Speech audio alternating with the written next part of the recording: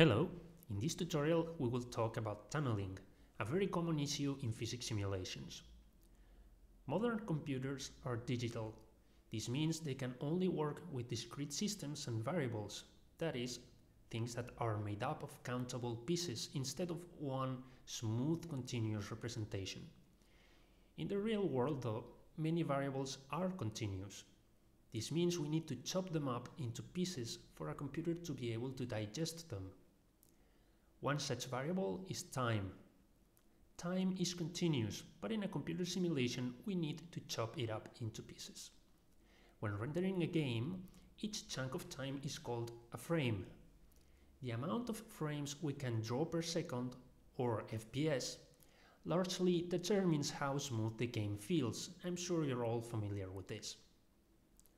When simulating the physics of a game, time must also be chopped up into what we call simulation steps or time steps. Here we have a particle, which could be a bullet, box or anything in our game world, moving towards a wall. The green circle is its current position. The red circle is the position it will be in in the next time step. So let's advance the simulation a few time steps. In the next time step, the particle will hit the wall. We know this because it overlaps the wall geometry, so we can correct the next position by taking it out of the wall. Consider what would happen if the particle was traveling faster. It would take larger leaps in each time step. We could find ourselves in a situation where the next leap is larger than the width of the wall. The physics engine would not see or detect any overlaps between the particle and the wall, and so the particle would pass right through it. This would also happen if the wall was thin enough that a slow-moving particle could jump through it in a single time step. This problem is what we call tunneling. It's a very common problem in games as it is inherent to the way computers work.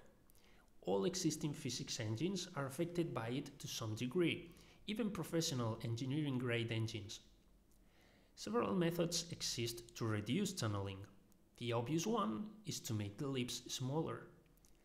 This can be done by limiting the maximum velocity of our objects. This works fine, but sometimes we just need fast moving objects. Let's see. This basic equation tells us that velocity equals distance over time so distance equals velocity times time.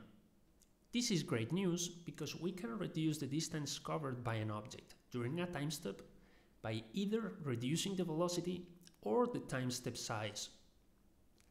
So let's try reducing our time step. This will chop up time into smaller pieces. To ensure no tunneling ever happens, not even to lightning fast objects, we need to use extremely small time step. Having many tiny time steps increases the amount of work our computer has to do, so our simulation would take a lot of real world time to be calculated. We don't want our game to slow down. So both methods, reducing object velocity and reducing the time step size, have drawbacks. Some clever folks invented something called continuous collision detection, or CCD for short, to help with tunneling without having to settle with slow moving objects or slow simulations. Obi uses a state of the art CCD system that not only takes object geometry into account when detecting collisions, but also object velocities. This completely eliminates tunneling in 90% of the cases. However, there's a few situations where not even the best CCD system can prevent tunneling.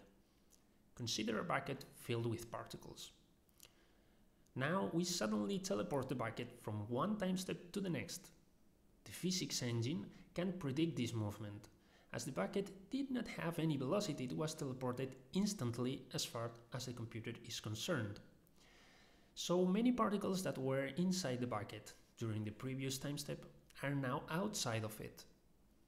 This is precisely what happens in Unity when you move objects around by changing their transform directly instead of applying forces to them. Again, Obi comes to the rescue. The Obi kinematic velocities component will perform an approximate velocity calculation for teleporting objects. Now that kinematic objects have a velocity, the CCD system can kick in. Nonetheless, if the objects teleport around very quickly or if the particles are very small, tunneling can still take place. Up to this day, designing your game around tunneling remains the best recipe against it.